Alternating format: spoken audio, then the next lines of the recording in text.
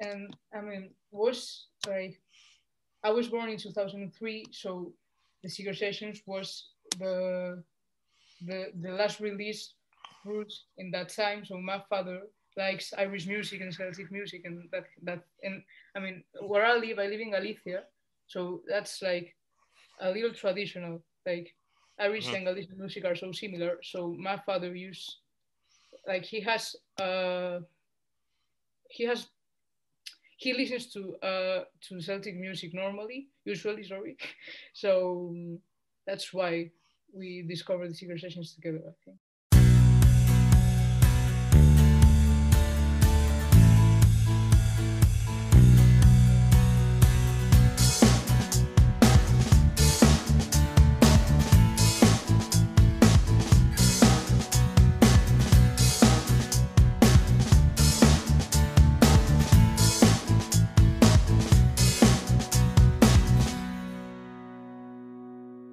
Hello, everyone, and welcome to a new episode of Set Listing Bruce, your podcast all about Bruce Springsteen, his music, mostly his fans.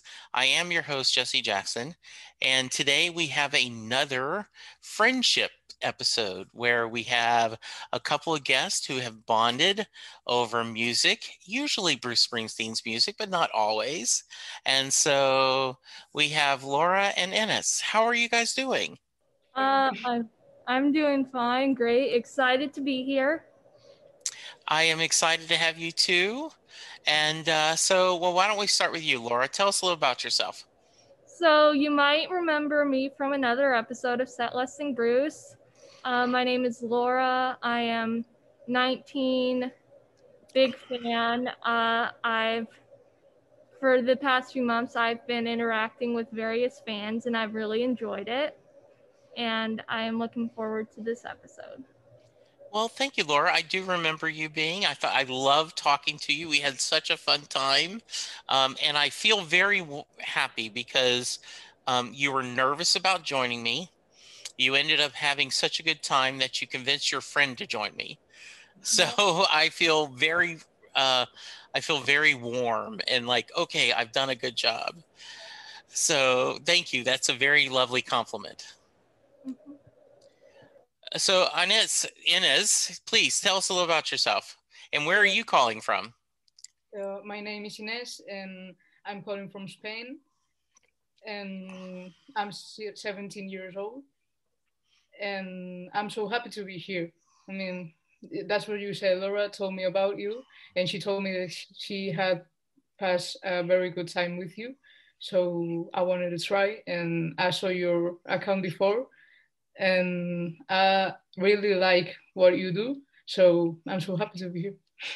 That is very sweet of you to say. I appreciate it. Um, so, and I will tell you right now, your English is better than my Spanish. So I think you're going to do great. All right. Thank you. So I know how Laura found Bruce, but I don't know you. And as we're talking, we can see a Born in the USA poster behind you. My yeah. audience can't, but I can. Talk to me. How did you find Bruce and what about him spoke to you? Well, I think mine is a very typical story because my father is a Bruce fan too. So when I was like three or four years old, as, as long as I remember, uh, we used to drive to his hometown in his car and he used to put Bruce music there. And I remember when I, I was that age, so I, I fell in love with the Seeger Sessions record and we used to sing it and I have very good memories with that record. So yes, it's, it's a typical story of a father who shows music to, to his daughter in this case. And well, yes, it is a typical story, a father passing on music. But what is a little unusual is you don't usually hear the Seeger sessions as the first mm-hmm. album that Bruce of music that someone loves. So that just warms my heart. That's great. Yeah. And I mean, was sorry, I was born in 2003, so the Seeger sessions was the the the last release roots in that time. So my father likes Irish music and Celtic music, and that that and I mean where I live, I live in Galicia, so that's like a little traditional. Like Irish Mhm. and Galician music are so similar. So my father used like he has uh he has he listens to uh to Celtic music normally, usually, sorry. So um, that's why we discovered the Seeger sessions together, I think. Oh, nice. Yeah. Oh, Did does he like Wrecking Ball too? Because there's a little bit of Celtic touch. no, my dad, like, he's a fan, but he discovered Bruce when he was younger, like when he was 25, 30, more or less. Yeah. So he stopped listening to Bruce. Like he he doesn't like the the last records. Okay, he's a classic guy. Yeah. He doesn't like Letter to You or Western Stars or any of that. I think he, he likes Letter to You because I showed him on October. Like it's it's cool because uh he, showed me Bruce for the first time, and now I'm like I know Bruce more than him, Ki- kind of. so I can show you more songs than like songs that he didn't know. For example, for the 80s, he doesn't know every song for the, the River, for example, and and lately I've been showing him. So yes, and and the new music, of course. So yes, he likes Letter to You. For example, he doesn't like Western Stars, but he, I think he, he likes Letter to You. uh, so I can't remember, Laura, when we talked, had Western had Letter to You come out? Uh, it did, but I don't really think we talked about it. Yeah. What are your thoughts on it? I mean, I liked it a lot. It seemed more personal and it seemed sort of like a kind of reminded this might sound weird, but it was like kind of reminded me of like folklore by Taylor Swift in the sense that like they're taking a breather and like exploring and like making it personal and like just a time to catch up with themselves, if that makes sense. It So, does. Um, I I re- my I think my favorite song was Rainmaker. And I've heard that from a couple of people. Yeah, I mean, I I liked it. Okay so, uh, Ines, what I was thinking of, right, is that um, the old phrase, the student has become the master, right? Where you have, your dad taught you, and now you're teaching him. And I, I love that story. I, I think that's amazing. Yes, it's funny for me. Like, So, how did you two become friends?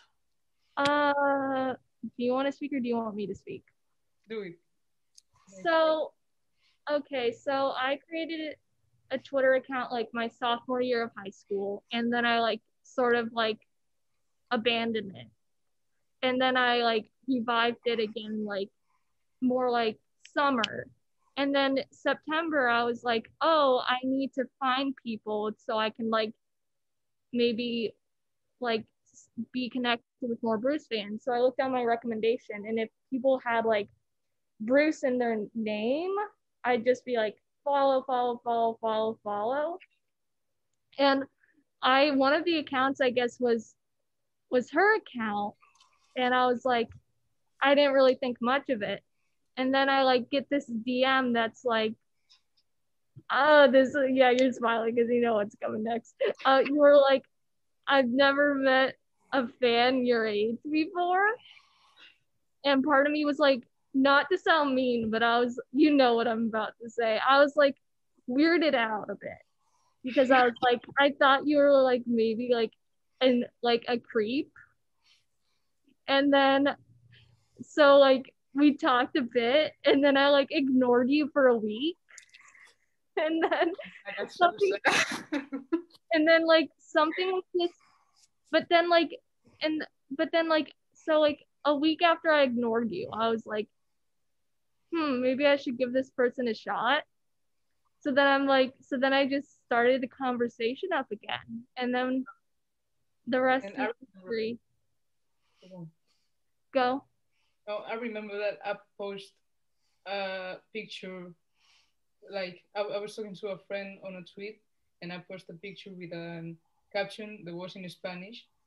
So she asked me, "Wait, are you fluent in Spanish?" And I remember that. I think that was how we started the conversation again. So I, I have to share a story that um, I had a few years ago, there's a wonderful fan named Madison who um, wanted she she wanted Bruce and Patti to come to her prom, right? That was her wish. She wanted Bruce and Patti to basically be her dates to the prom. And uh, she got to go see him in live, and she was, and so she was talking a lot about it on Twitter. And so I reached out to her and I said, "Hey, do you want to be on the show?" And she said, "Yeah." And um, I didn't put, I didn't do the math in my head, um, and so she was talking about that she was in her bedroom when we were recording and i realized she was 16 mm. and my wife and son like what why are you talking to this 16 year old girl are you this creep like no no it's all about bruce it's all about bruce so laura i'm right there with you right that you uh you know you have to be safe on the internet so i can imagine you're like okay who's this person coming at me. That's too funny. Yeah, but it, I'm I'm glad that some whatever told me to like start the conversation back up again did because we we talk a lot. Yeah. That's that's so lovely. Um, you know, and that's the whole theme of this month. Uh, episodes are people that have been bonded through friendship, through music.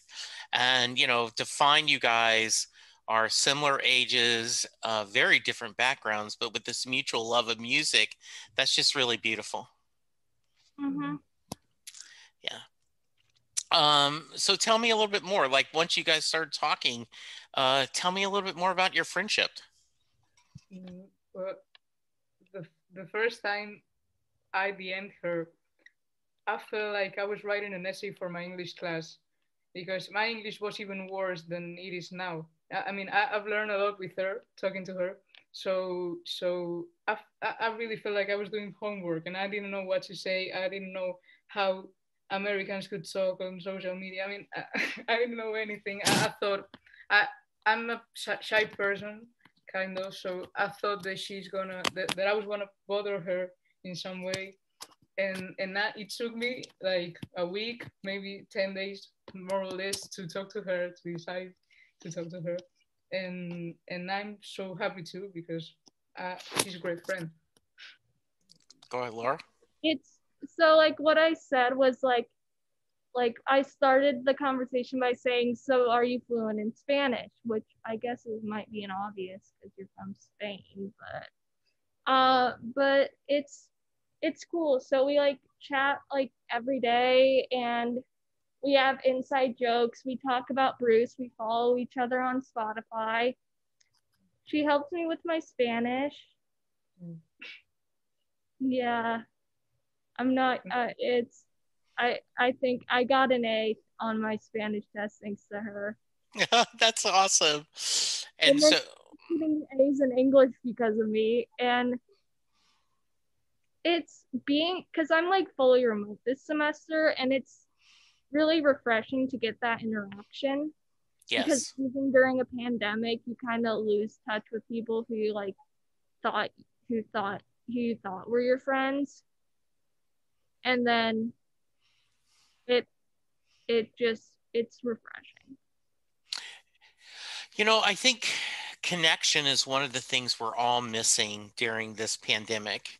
You know, just seeing your friends. Um, you know, sharing beverages, um, you know, hugging each other and laughing and telling jokes and going to the movies or going to shows together. And so I think it's kind of neat that you two have been, because of Bruce's music, kind of find this bonding together and you find, you know, a wonderful friend. And in the past it would have been pen pen pals right like you would write each other letters and mail back and forth and now then because of the internet you actually get to talk on a fairly regular basis isn't it mm-hmm. yeah. yeah so um, you're both pretty young but uh, have you guys talked about after this pandemic somehow finding a way to meet in person a little. Mm-hmm. I so we haven't made like plans, plans, but Right. like said it like, hey, if you want to come, you can come. And then I'm her her mom who likes me a lot. Yes. Like, if you come to Spain, we'll let you stay in the guest room. Yeah. And we're already planning outfits for Bruce Springsteen concerts. Yes, that is awesome. That is great. So, um, so, um, I talk about you mentioned it. It sounds like you're a pretty heavy Bruce fan. What are your favorite albums or songs? Um, I can choose one album or one song. I have like a, I mean that's typical. I have a like a ranking, like a top. Okay. But If I had to choose, I think Darkness maybe. I think it's a great album and it has. I, I don't know how to say this in English. Wait, like I love the words and the music. Like for example, for me, Born and Run is like I, I focus more on the music, even though the words are great, the lyrics, and then the river, I focus more on the on the lyrics and less on the music. So I think Darkness is in the middle. So if I have to choose one album, it will be Darkness for that reason, I think. And then I think Backstreet is one of. If I had to choose one song, it would be Backstreet because I I love uh, Roy Bittan's work. Like I, I love how he the way he plays piano, and he inspire inspire. How, how can I say that? Inspires me. Is it correct? He inspires me a lot. You know, this has got to be a really beautiful thing for you to, um, to find someone close to your own age that have this same passion. Talk to me a little bit about that. Well, I talked to her because my friends, who are my age, obviously, aren't interested in Bruce. And I've, like, they, of course, they like him. I mean, if I show them a song, they will like him because he's Bruce Springsteen.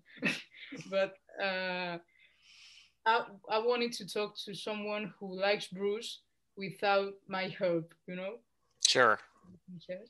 So yes, it's so it's fine. It's it's so cool because we have different opinions and we can share it and, and maybe like I can show a song to my friend to, to a friend of mine who doesn't like Bruce and and they will say all right this is so cool but they can't compare because they don't know how to search and how to investigate on his music so it's yeah I, I mean finding someone my age who likes Bruce is one of the best things that happened to me this year I think I, I can tell. That's a great. Laura, thoughts? Uh, I agree, and it's like I feel like we connect a lot, and it's and it's expanded beyond Bruce. And it's just the pandemic and the move has made stuff. It's just it's made stuff harder, but this has made it like something to look forward to. How do you guys work the time difference? It's seven hours, so I'm in Central. Um, basically, um, I it's pretty. It's actually pretty easy in my opinion. Okay. Like, it's like midday when I get up for her. Okay. It's And- mainly like I don't expect. It, the rule is I don't expect her to respond at night for most my night for the most part, and she doesn't res- expect me to respond during her morning. Okay. Well, actually, I have a funny story. So, like, Please. um, I, I'm not sure if you know what I'm talking about. It's about the time zone. So, one of our inside jokes is called negative three.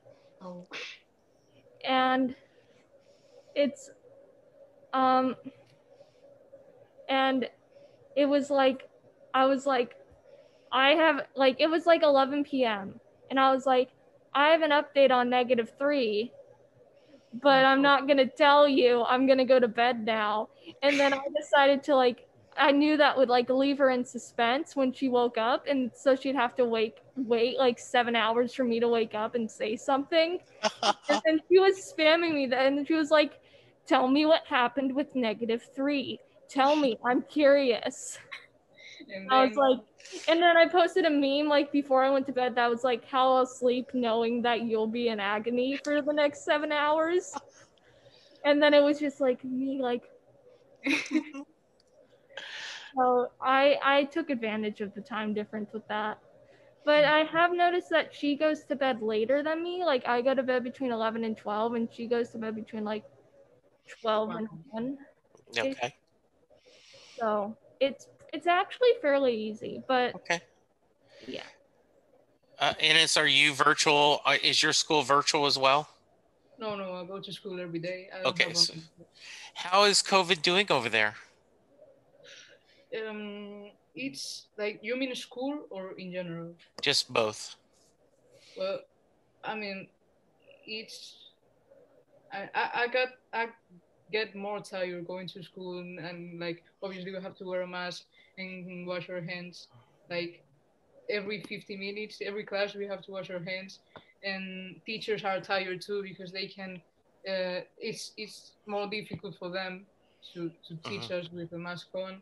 And I mean I prefer have go to school than online classes because uh, uh, I mean, it's more difficult for me to focus on online classes.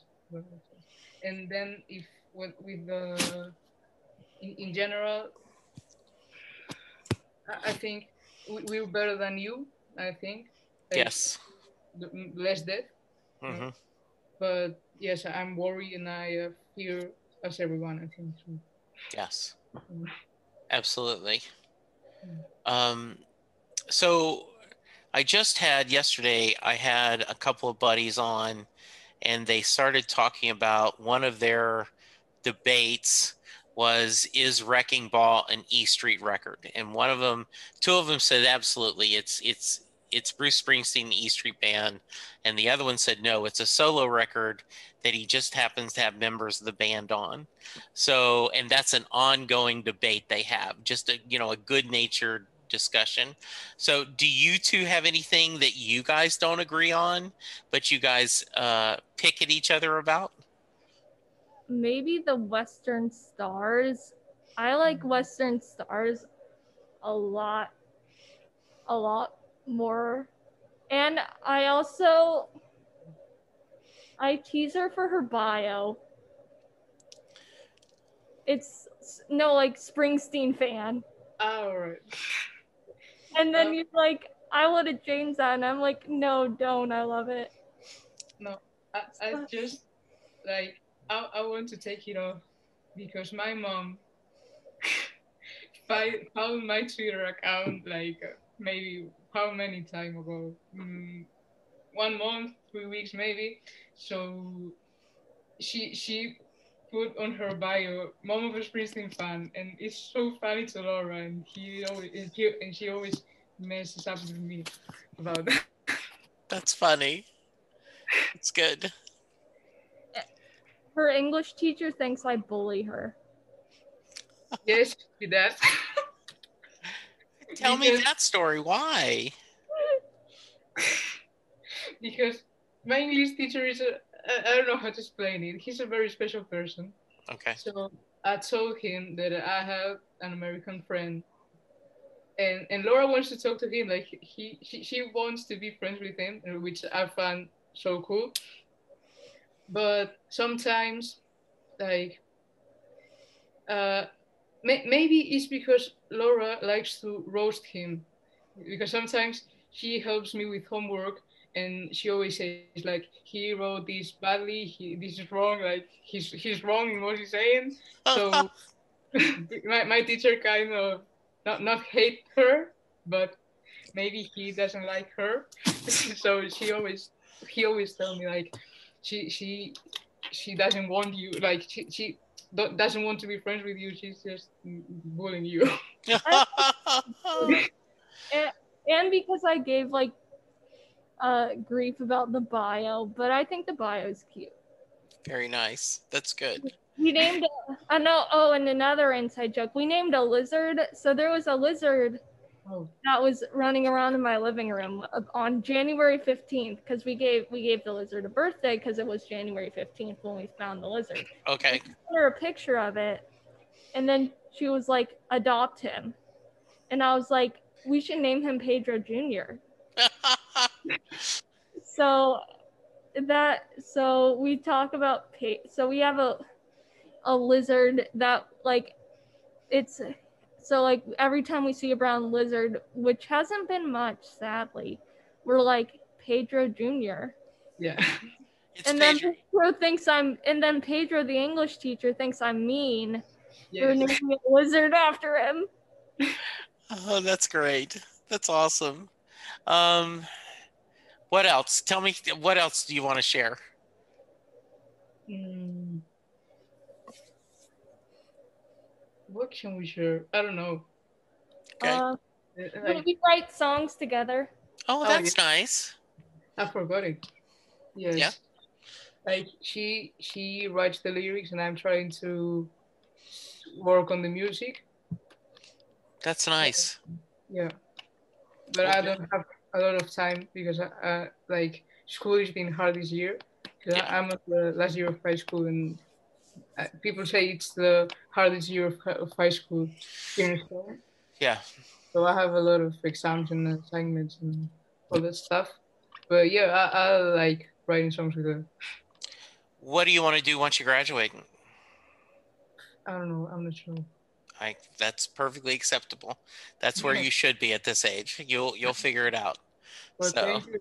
That stressed me out a little bit. Yeah, I know. Laura, how is your school going? Uh, I mean, academically, it's going well. I have to pick a major by next semester, and I don't really know what I'm gonna do about that. Well, To like, Uh, go ahead. nothing seems to like be. I don't seem to be passionate enough about anything. Like, I don't know. I like school. Like, it's kind of annoying because I'm the only one. Like, there are some classes where I'm legit the only person who like engages with the professor and has the camera on for Zoom classes. But I still feel like I don't know what I want to do. Well, I'm 61 and I don't know what I want to be when I grow up. So you that's okay. That's okay with both of you. That's good. Um all right. Um I asked Laura this last time, but now it's your turn. Um the Mary question. Okay. So, okay. Um, Jay Mhm. Armstrong is an honors English teacher in the Philadelphia area, and he every year has his seniors study Thunder Road. They look at all the lyrics, they look at the imagery, they look at the themes, and then he asks the question Does Mary get in the car at the end of the song? So, Ines, that's your question. Mm, well, I used to think that she does, but uh, I've changed my mind. I mean, Okay. a few time ago, I don't remember exactly how many times. Laura said that it could be uh, the a, Mar- a dream of Mary, you know. Right? Figment of her imagination. Yes. So I thought about that, and I think it could be a, a dream of Bruce. Okay. like because maybe he had I, I mean as a musician you know no, no, I, I don't know him of course but uh, maybe he had like a, a young musician thinks that you, you don't know where you're gonna be tomorrow you know? So maybe he had that frustration that for example you want to do something and you're convinced that you want to be something but then you go to a pub and you see a guy who's a better guitar player than you and you get sad about it. So um, you dream of it. And he like I, I thought that maybe he was dreaming with freedom and to uh, like what's the song about you know? Like running away from all those those thoughts that, are bad for for for you for oneself and i think that Mary is gonna get into the car but then he wakes up so he doesn't know because he just woke up like maybe yes maybe no who knows I like that answer. That's a good answer. That's good. Very nice. Um, any final thoughts, guys? Final. Let's start with you. Um, Me? Yeah. Oh, me. Yeah. Uh, I like this podcast. I'm glad that we got to be on it together, and I like talking about Bruce with you. And Eris muy guapa. All right. And can you top that? Mm, what? Can you repeat, please? Sure. Any final thoughts? All right. Um, I was so nervous before, and I had a really great time with you, and and I've, I mean, I thought I was gonna understand less words than I than I did, and it was so so fun. And tú también eres muy guapa.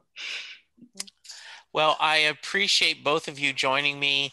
Uh, you guys are both just amazing young women, and I'm so glad that y'all found a friendship through Bruce's music and through the internet.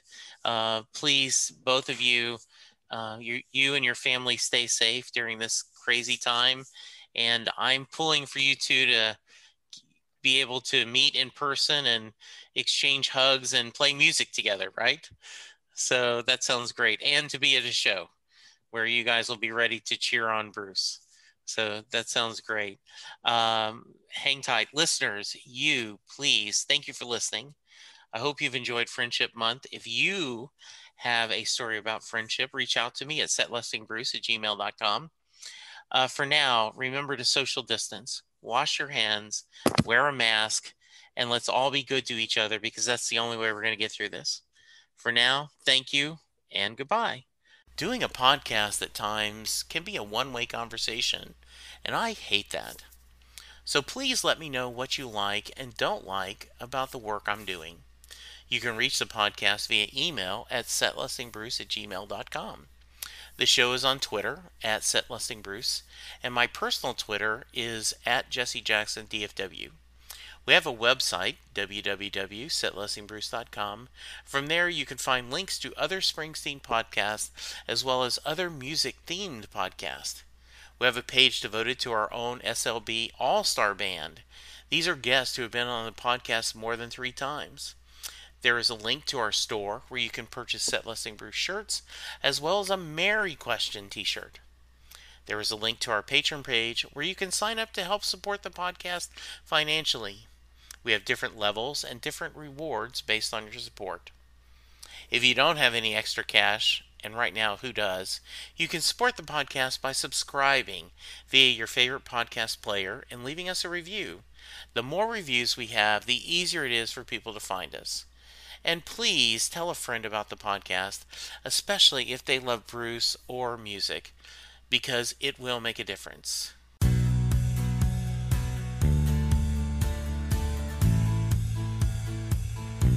You just heard the fun talking, hard rocking, music loving, album ranking, fan thinking, joy spreading, lyric reading, story sharing podcast that is the one, the only Set Listing Bruce.